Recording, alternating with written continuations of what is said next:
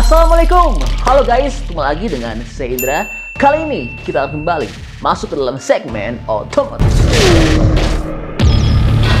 Iya, akhirnya yang ditunggu-tunggu, mobil baru Hyundai telah resmi rilis. Dan ini adalah mobil listrik Hyundai dengan tenaga yang sangat buas, dengan performa tinggi, dan dilengkapi dengan fitur dan teknologi yang lengkap dan canggih. Mobil ini telah dipasarkan terlebih dahulu untuk pasar Korea Selatan dan Australia. Namun tidak menutup kemungkinan ke depannya akan masuk Indonesia. Mengingat Hyundai tidak henti-hentinya mendatangkan mobil terbarunya ke Indonesia. Terakhir, Hyundai juga telah datangkan Ioniq 6 dan sebagai informasi, mobil ini dijual dengan harga 875 juta rupiah di Korea dan 1 miliar rupiah di Australia. Lalu kapan sih mobil ini akan masuk Indonesia? Berapa dengan harga di Indonesia? Bagaimana dengan spesifikasi lengkap dan info lengkap dari mobil ini? Mau tahu dengan jawabannya? Oke, langsung kita ulas dalam video berikut ini ya. Oke, berikutnya. Bicara soal info mengenai Hyundai Ioniq 5N ini. Ya, sebagai informasi, Hyundai Ioniq 5N ini menawarkan teknologi dan performa yang tinggi serta mobil ini menawarkan sensasi berbeda yang lebih balap kepada para pengemudinya. Hyundai Ioniq 5N merupakan mobil elektrik high performance dan tentu saja Ioniq 5N ini sangat berbeda bila dibandingkan dengan model regulernya. Lalu, apa sih platform yang digunakan oleh mobil ini? Serta bagaimana dengan detail desainnya?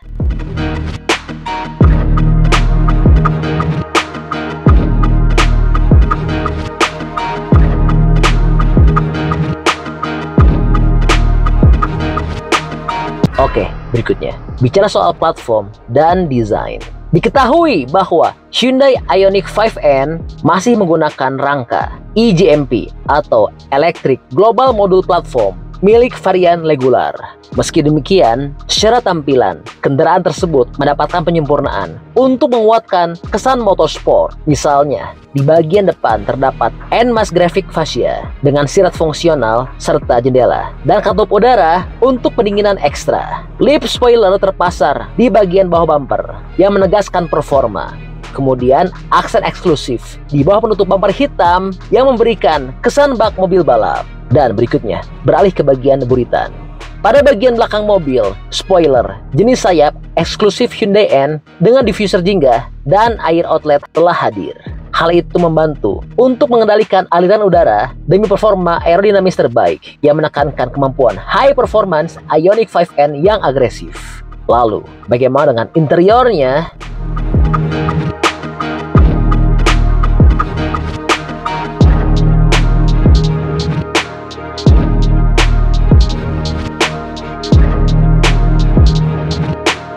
Oke, berikutnya. Masuk ke dalam interior.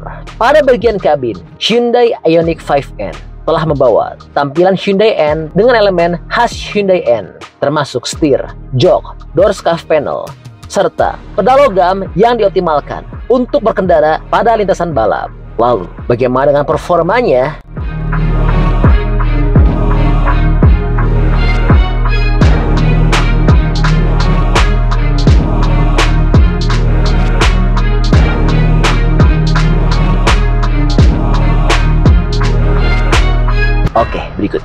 Bicara soal dapur pacu dan performa. Ioniq 5N telah mendapatkan peningkatan teknis dibandingkan varian regular. Kendaraan tersebut dibekali motor listrik yang mampu menghasilkan tenaga hingga 611 horsepower dengan kecepatan maksimum 260 km per jam dan baterainya berkapasitas 84 kW yang hanya memerlukan waktu 18 menit untuk mengisinya dari 10% ke 80%. Sayangnya, tidak disebutkan secara pasti berapa jarak maksimum yang dapat ditempuh kendaraan dalam sekali cas. Selain itu, Ioniq 5N dibekali teknologi booster dan end launch control untuk meningkatkan akselerasi kendaraan. Bahkan, berkat teknologi tersebut, mobil dapat melesat dari 0 ke 100 km per jam dalam waktu 3,4 detik saja. Meski kencang, pabrikan telah menetapkan standar manajemen thermal baru untuk penggunaan Ioniq 5N di sirkuit balap, sehingga mobil tersebut tidak mudah panas atau kehilangan daya akibat overheating. Bukan hanya itu, keunggulan lain dari Ioniq 5N ini terletak juga pada suaranya. Berbeda dibandingkan mobil listrik lain, kendaraan tersebut punya ruangan suara khas mobil balap. Hanya saja suara itu bukan asli, melainkan dibantu teknologi khusus.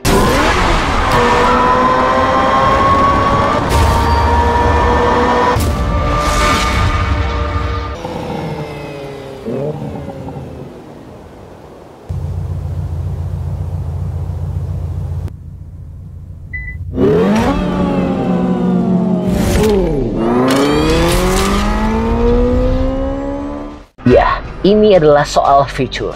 Pabrikan menanamkan Ioniq 5N dengan NeSift dan N-Active Sound Plus. Fitur NeSift telah memberikan sensasi atas power dan perpindahan gigi.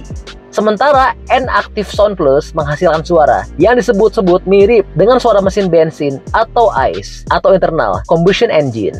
Dan kedua fitur tersebut dihadirkan untuk menjawab keluhan pengemudi yang menyebutkan mobil listrik terlalu senyap, tidak seperti mobil sport dengan mesin konvensional atau ICE. Wah, luar biasa ya.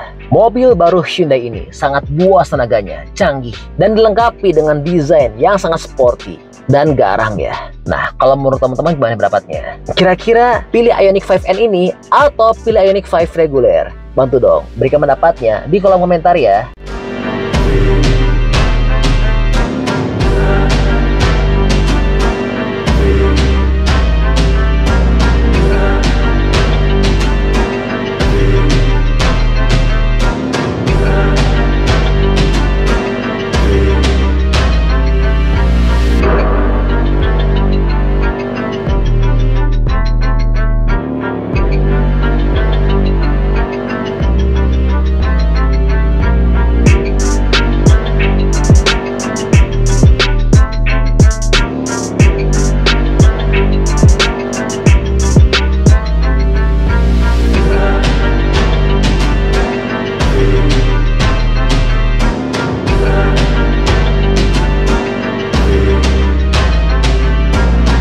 Oke, jadi itu adalah info update untuk Hyundai Ioniq 5N.